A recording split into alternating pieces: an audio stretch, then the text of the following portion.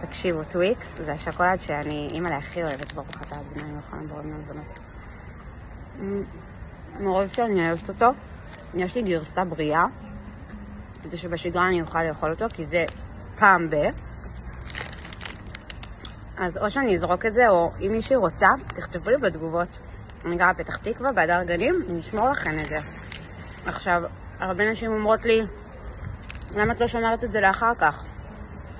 אז אני אספר לכם שאני לא מכניסה דברים כאלה הביתה. לצד השוקולד שקניתי פעם ב... את הדברים האלה אני מכניסה הביתה. אני אראה לכם מה אני מכניסה הביתה. קופסת תותים, בננות, תפוחים, שאני אוכלת כל יום תפוח, ועכשיו התחילה העונה של האגסים. ידעתם ששתי אגסים בבוקר זה הדבר הכי בריא שיש? אז זה דברים שנכנסים הביתה, וזה פעם ב. עכשיו, אני שמה לעצמי גבולות מראש. הרי אני יודעת מה יש פה. הנה, יש פה אפילו את הסימונים. מלא מלא סוכר שהוא ממכר. ואין מה לעשות, אתה פותח את החבילה, אתה רוצה לסיים. אז אני עוזרת לעצמי, ואני זורקת לפח, או ששוב, אני אשמור למי שרוצה, כן? תכתבו לי בתגובות כדי שאני לא אזרוק לפח.